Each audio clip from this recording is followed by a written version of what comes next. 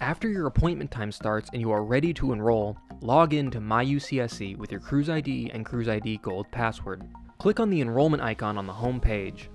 Click on the Enrollment Shopping Cart link in the sidebar and select the appropriate term. Here you have the option to select specific classes from your shopping cart to enroll in by checking them off to the left of the course title. When you have selected the classes you wish to enroll in, please click Enroll and then Finish Enrolling.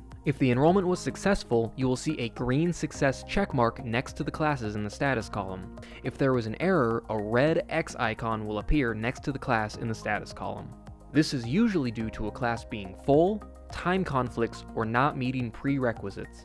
It is important to review any error or success messages carefully. Starting winter quarter, you will have two enrollment appointments called First Pass and Second Pass. During the First Pass, you can enroll in up to 14 credits. During the Second Pass, you may enroll in your final class. If your final class is full, you may sign up on the waitlist for the class. However, enroll in a backup class first. This ensures that you will be enrolled in a full-time course load regardless of the outcome of the waitlist process. Please note, you can only waitlist classes during your second enrollment appointment or second pass. If at any time you wish to swap for a different course than the one you are currently signed up for, edit a section time or grading option, or drop a class, select the appropriate sub-tab under the Enroll section.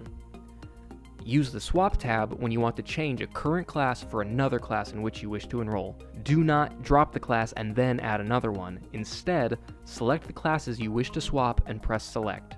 Remember, swap, don't drop. Green checks mean a successful transaction. When changing a class section time or grading option, do not drop. Instead, press the Edit tab, select the class you wish to edit, and select the new discussion time or grading option. Select the Drop tab if you want to completely remove yourself from a class or section. You should only drop a class if it will not put you below your unit minimum. For full-time students, this is 12 units.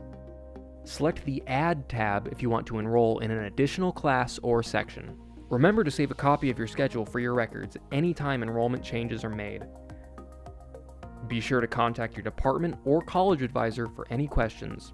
Thank you for watching and good luck with the enrollment process.